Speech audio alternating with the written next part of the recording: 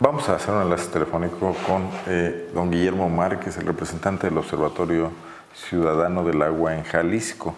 Consideramos importante conocer su opinión sobre esta discusión que se está abriendo en torno a de quién fueron las responsabilidades en la inconclusa obra del acueducto del Zapotillo. También está inconclusa la cortina de la presa y esta situación se complica cada vez más como la alternativa que se pensó para eh, disponer de mayor agua para la zona de León y la zona metropolitana en torno a León. Don Guillermo, ¿cómo está? Buenas tardes. Buenas tardes, buenas, buenas tardes. Gracias como siempre por, por atendernos y por compartirnos la información y el análisis con el que usted siempre cuenta y es muy generoso además. No, no, pues es un, es un compromiso que tenemos pues para nuestra gente, el mantener informado. Oiga, pues dicen que cuando se pelean las comadres salen las verdades y aquí ya empezamos a ver un intercambio de señalamientos entre la empresa Bengoa, Conagua, el organismo rector en León Zapal, sobre quién tiene la responsabilidad de que esta obra se haya detenido en torno al tema de la liberación de los derechos de vía. Dice Bengoa que fue culpa de Conagua. Eh, eh, pero bueno, yo quisiera saber qué han investigado ustedes eh, y qué viabilidad va a tener esto en el, en el futuro, si es dinero que ya se fue a la basura. Pues es un escenario complicado porque por un lado, eh, bueno, eh, en estricto sentido, digamos, eh, la CONAGUA es responsable de la liberación del derecho de vía. Pero pues, Abengoa estuvo participando junto con CONAGUA para tratar de liberarlo. Lo que pasa es que perdieron de vista en algún momento que la utilidad pública del, proyecto ya no es tal como estuvo planteado en algún momento porque eh, pues eh, se trata de un negocio, o sea, esa venta de agua que harían en León pues no, no es título gratuito, eh, cobrarían y harían negocio con ello. Entonces, bueno, eso por un lado. Lo otro es que la gente, al darse cuenta de las afectaciones que tendría, sobre todo la, división de terrenos, habría gente que le partían prácticamente su propiedad impidiéndole el acceso, eh, con la construcción del tubo. Entonces, obviamente, esto genera una resistencia. Eh, otra resistencia que estamos generando pues es eh, que la gente no, no, quiere ser despojada de un bien que es muy escaso en la región. Entonces, pues todo eso fue sumando de alguna manera. Y, por otro lado, bueno, la situación global, digamos, de Abengoa, pues no ha mejorado en los términos que esperaban. Entonces es un cúmulo Ah, por un lado la resistencia de la propia gente, las denuncias, las demandas que están interpuestas, eh, las controversias, eh, todo esto hace un escenario difícil, también eh, perdieron de vista algo que debieron considerar que es un medio dinámico, o sea, es totalmente cambiante. Ah, hace 23 años que generan el, el decreto de reserva de agua, equivaldría, por decirlo de alguna manera, que alguien le regala un, cachorro, un, perrito cachorro para, para que lo tenga. Eh, después de 23 años, obviamente, las condiciones de ese cachorro ya no son las mismas, si es que lograra sobrevivir. Eh, es un poco parecido, porque eh, la región ha tenido menos precipitaciones, mucha mayor demanda de agua, el cambio climático, aunque se niegan a reconocerlo, pues está presente, entonces eso cambia drásticamente las condiciones. Y por otro lado tenemos eh, que eh, León dispone de varias eh, opciones para tener agua dentro de su propio estado, como es la tecnificación del riego, como es recuperar volúmenes por diferentes acciones, que el, el, propio plan hidráulico de este sexenio en Guanajuato lo contempla. Eh, esas diferentes acciones le permitirían... Sí, bueno, se cortó, la llamada, estábamos escuchando a Juan Guillermo Márquez, representante del Observatorio Ciudadano del Agua de Jalisco, de la gestión integral del agua es su nombre completo. Eh, bueno, no hay en el horizonte claridad con respecto a si esta obra podría o no continuar. Lo que está muy claro es que la empresa Bengoa, empresa de origen español, un consorcio internacional que además en los últimos años ha estado metido en serios problemas financieros, lo que quiere es cobrar una indemnización. ¿Por qué es la indemnización? La obra, como bien decía eh, Juan Guillermo, no es una obra que implique únicamente interés público, hay de por medio un negocio. Abengoa construye el acueducto y después le vende el agua a León, es una concesión para el transporte de agua. A lo largo de los años, con esa venta de agua, que Zapal le compra, a su vez Zapal no la vende a los usuarios de leoneses del agua, eh, Abengoa eh, paga la obra y obtiene una utilidad. Ese era teóricamente el planteamiento al culpar a Conagua de la no liberación de derechos de vía, la frustración de la obra, está pidiendo un resarcimiento económico de, mucho dinero. Juan Guillermo, ya lo recuperamos. Sí, gracias. En el fondo aquí hay un pleito, ah, me decía usted, pero en el fondo aquí hay un pleito por dinero, ¿no? Así es. Eh, aparte, es una costumbre ya en la empresa de, aplicar esta medida en, varios países. Ya en el, en el, nuestro lo había hecho con un eh, centro de acopio de residuos peligrosos en, Hidalgo, y donde no lo dejaron eh, operarlo, y, bueno, demandó al, país y, ganó esa demanda. Entonces, eh, para ellos es, fácil cuando ya un proyecto se les va complicando por la misma viabilidad, entonces recurren a estas eh, argucias. Eh, lo que extraña un poco es que con agua eh, pudo haber evitado esa incurrir en esa responsabilidad del pago si hubiese reconocido a tiempo las causas de fuerza mayor, un conflicto social que está presente y, que, bueno, apelando a, ese conflicto social, a esa causa ajena a, la voluntad de ellos, pues eh, no estaría obligada de ninguna manera a indemnizar a Bengoa.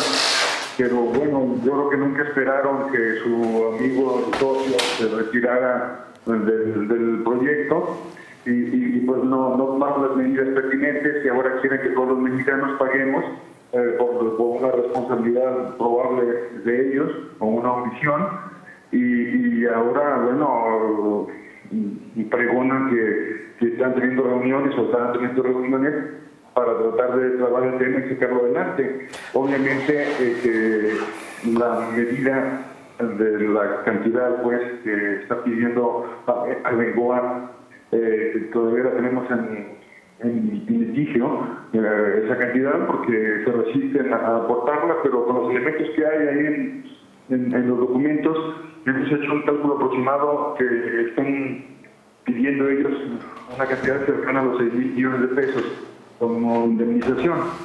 Entonces, pues es una cantidad muy elevada. Eh, obviamente, esto no están los que pretenden rescatar esa concesión o que sigue operando, pues, eh, pensando en aportarlo a los bolsillos, Oiga, sea con los públicos. Las, las También, eh, dentro de los documentos que acompañan a esta renuncia y responsabilidad que le llaman, pues eh, está un, documento de manobras en donde ellos no dan el aval para que el proyecto continúe porque lo consideran.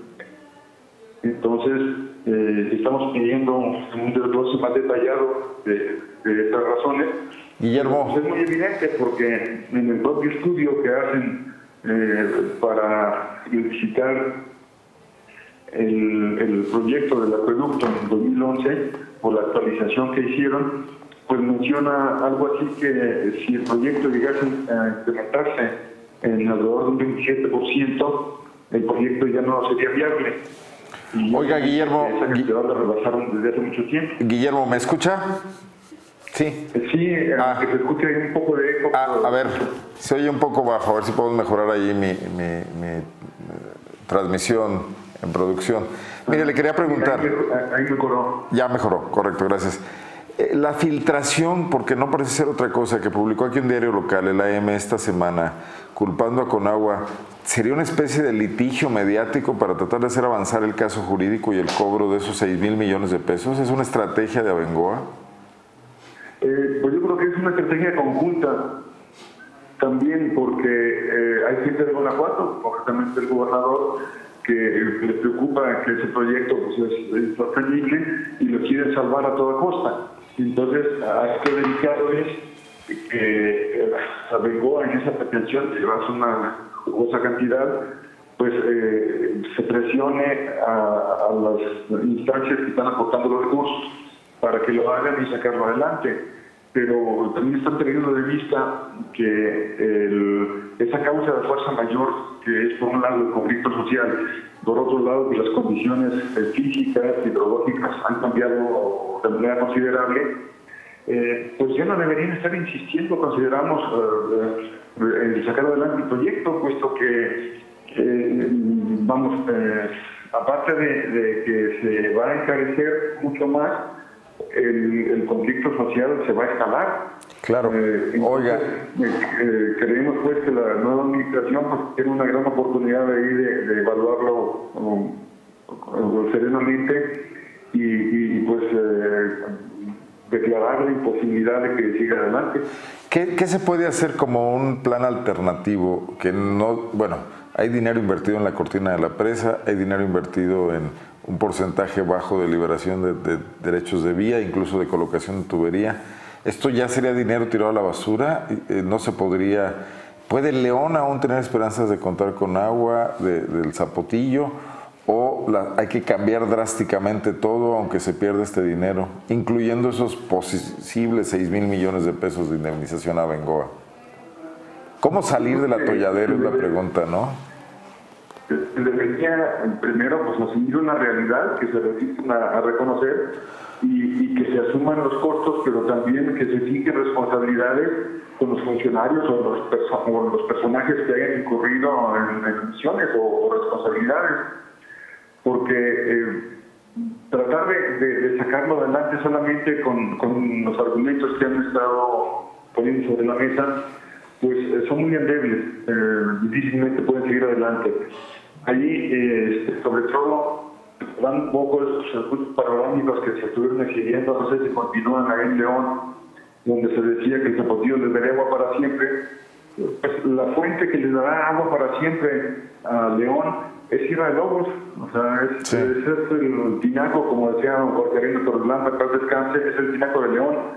Entonces, deben volver a ver, eh, y sobre todo por el riesgo que tienen de las concesiones mineras que se han dado en Sierra de Lobos.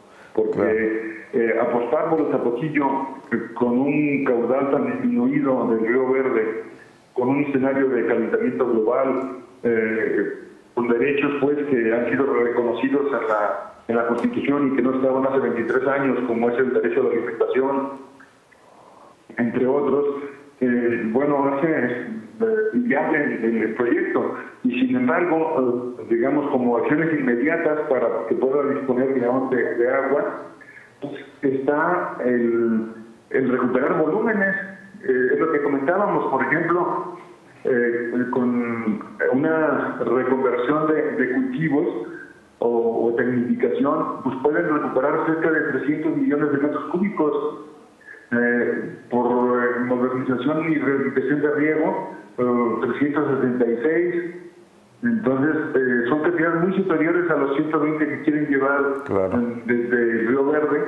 entonces, ahí pueden paliar de alguna manera la necesidad inmediata que tiene León no es tanto, las propias cifras que publica. Oiga, pero, pero habría que. un desabasto de 1.1% aproximadamente entonces, eh, pues eso, eso a ese porcentaje. Pero habría que, independientemente de eso y del reparto del agua, ¿ustedes de la idea de que se concluya la presa? Incluso para darle agua a los eh, altos de Jalisco y a Guadalajara. Eh, lo que pasa, para los altos, la ubicación de la presa no es el punto ideal. Ya eso lo habíamos trabajado con la Comisión Estatal del Agua de Jalisco hace unos ocho años en donde se localizaron puntos estratégicos, por lo menos tres, en donde eh, a través de esas pequeñas presas que se pueden construir y pueden llevar agua por gravedad a algunas poblaciones. Eh, en todo caso, y con la declaración que ha hecho el gobierno federal actual, eh, la cortina ajustarse técnicamente para que opere a, 80 metros, eh, sin llegar a llenarla totalmente de su capacidad para tratar el poblado de Macapulí. Y esa agua puede ser una reserva para el área metropolitana, metropolitana de Guadalajara. Entonces, eh, sería un escenario uh, de ganar-ganar en el sentido de que las pérdidas que están ya presentes pues se tendrán que asumir de alguna manera, pero ya no tener mayores pérdidas de lo que se tiene si se sigue adelante el proyecto. Correcto. Oiga, eh, ¿cómo ha cambiado la situación política después de las elecciones? El nuevo gobierno de Jalisco que tomará posición próximamente de otro partido político, Movimiento Ciudadano, eh, parece ser que mantiene una postura muy beligerante hacia la idea de repartir el agua, ¿no? Sí, aunque sigue todavía un poquito latente ahí la posibilidad, eh, ellos mencionan que primero uh, se dé el abasto para Jalisco y luego hay excedentes para Guanajuato. Los que hemos estudiado pues, la finca, pues sabemos que no da para las tres regiones, para León, para Los Altos y para el área metropolitana. Entonces, eh, lo más probable es que eh, ya entrando en funciones, pues poner sobre la mesa esa imposibilidad de, de, cumplir con un compromiso que después de 23 años que se estableció con el decreto, pues ya las condiciones son distintas. Eh, por otro lado, con el gobierno federal eh, hemos estado viendo por ahí acercamientos. Eh, ¿Con el nuevo gobierno federal o con el que, las declaraciones que con el que ya se va o con el que llega? La, cabeza del partido, en el sentido de que tampoco ellos consideran que es un proyecto viable. Guillermo, ¿esto, ¿esto pues, se está viendo con el gobierno que se va o con el que llega a nivel federal? Bueno, eh, ya, ya estamos teniendo acercamientos y, trabajo con el, que, el próximo gobierno. En el que se está yendo, ya, ya bajaron la cortina y ellos dicen, bueno, ya, ya está tomada la decisión, la cortina se queda a 80 metros y dejamos en la próxima administración la, decisión de si hay trasvase o no. Entonces, eh, bueno, pues estamos aportando los elementos que hay técnicos eh, como prueba para que tomen una, una decisión pero pues sí, eh, una distinta a lo que hemos sugerido, pues es, muy difícil, pues por las razones que ya hemos comentado. Entonces, eh, habrá que ver solamente cómo, cómo se ajusta esas, pérdidas, digamos, sobre el caso de, de del partido acueducto, pues, o la fallida construcción del acueducto. Obviamente hay responsabilidades ahí de, de Abengoa también en esto eh, veremos cómo, cómo lo asume eh, la Administración Federal que está terminando eh, y, obviamente que la próxima, que ya lo ha comentado de alguna manera, estaría dispuesta a que se fincaran responsabilidades si las hubiera por muchas condiciones que se pudieran haber cometido. ¿verdad? Muy Entonces, pues ya, ya no faltan muchos meses para para entrar en una etapa uh, decisoria, digamos, eh, con el proyecto, eh, pero sobre todo estamos buscando que sea un, escenario donde todos ganemos, donde a los leoneses no les cueste más el agua de lo que ya está costando, que es cara las tarifas, y sigan teniendo el volumen de agua necesario, que cuiden su fuente permanente de agua, que es Sierra de Lobos, eh, que se desarrollen los programas, los proyectos que entendemos por información de algunos conocidos que eh, por ahí están escondidos en algún cajón, que eso se impulse eh, y, obviamente pues todos queremos tener agua, y, pero para esto pues que se tomen las acciones pertinentes para que sea un escenario donde todos ganemos. Ahorita está la cortina como se encuentra, pero no se ha reunido, no, no se está haciendo acopio de agua, ¿verdad? Con esta temporada no, No, los canales de desvío están abiertos, eh, el agua sigue corriendo y, no hay almacenamiento. Ni obras tampoco. No, no, porque el campamento que tenía ahí eh, la, empresa constructora lo desmantelaron hace ya más de un año. Eh, queda muy, poco personal, es, es, mínimo el mantenimiento. Obviamente eh, la naturaleza es muy sabia y, comienza pues a tratar de recuperar o rehacer las heridas que le hicieron. Los cortes de los taludes, pues bueno, están teniendo los prendimientos, hay unas cosas por ahí que, que algunos quieren tomarlo pues como que eh, para que no se desperdicie todo ese gasto, pues hay que reanudarlo. Pero pues en todo caso, lo hemos dicho también, eh, el tema no es la altura de la cortina, ¿no? o no debería ser la altura de la cortina, sino la capacidad de la cuenca. Entonces, la cortina puede tener un kilómetro si quieren de altura, pero el problema es que la cuenca no tiene la capacidad para una cortina de mayores dimensiones que sea alrededor de 60 metros la operación. Entonces, bueno, pues para no demoler ya los casi 80 que está construido, pues solamente hacer las adecuaciones técnicas para que pueda ser, eh, ser un sistema de abasto para el área metropolitana y, que en los altos de Jalisco pues se retome el tema de los proyectos que ya de alguna manera se habían planteado eh, para que las poblaciones alteñas eh, pudieran abastecerse de alguna manera por gravedad, la mayoría de ellas, con pequeños embalses. Entonces, con este escenario pues habría que liberar volúmenes de agua para el campo, que ahora no lo tienen reconocido, a pesar pues, del decreto que se publica en el 6 de junio pasado, que por cierto eh, está frenado cualquier acción por un amparo que le concede nuevamente un tribunal colegiado al elegido de agua de obispo para que no se aplique el decreto del 6 de junio. Eh, porque obviamente las condiciones están significativas porque eh, pues ahí da la posibilidad de que se puedan otorgar concesiones al que llegue primero la ventanilla a solicitarlos, sin considerar la, la apelación de usos. Uh, pudo en este inter que se otorga el amparo haberse ya concedido algunos uh, títulos de concesión, eh, los estamos solicitando ya por transparencia para tener todo el escenario completo y, y bueno, pues ante esa realidad que se puedan tomar decisiones, sobre todo con serenidad, porque eh, pues la producción de alimentos necesita agua y, tiene que abrirse ese espacio. Habrá que eh, elaborarse un ordenamiento hídrico en la cuenca y, eso pues de alguna manera eh, nos va a dar como resultado lo que de alguna manera también ya conocemos algunos, que la capacidad de la cuenca está muy mermada y, y deberán reconocerse pues, los derechos que se están pasando por alto, porque no es posible que en el Río Verde, en Zacatecas, Aguascalientes, Jalisco, eh, el agua solo sea para uso doméstico, público, urbano, y el río Lerma y sus afluentes en el estado de Guanajuato, pues está considerado para uso agrícola o riego. Correcto. Entonces, tiene que tener equidad pues los usos ¿verdad? Y un reconocimiento pues para todos y que todos dispongan del agua vital. Hicieron las cuentas de la lechera, eh, Guillermo. Oiga, permanezcamos en contacto, ¿le parece? Como lo hemos hecho hasta ahora por los, lo que se viene en los próximos días y esperemos a que entren en función los nuevos gobiernos a ver si hay oxígeno. Eh, estas cortinas bajadas de las administraciones que ya se van parecen no ser el mejor escenario para encontrar soluciones.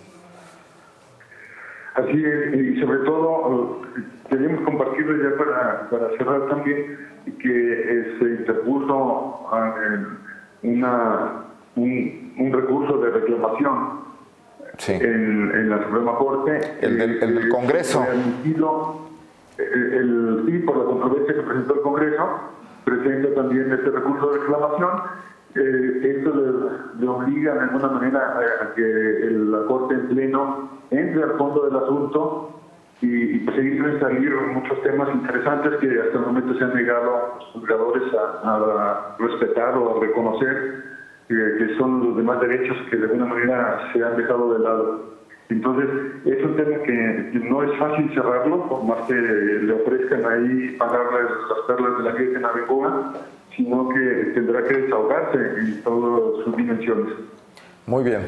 Bueno, pues también estamos atentos a este recurso. Muchísimas gracias, eh, Juan Guillermo Márquez. No, al contrario, gracias a ustedes un saludo a otro auditorio. Gracias y muy gentil.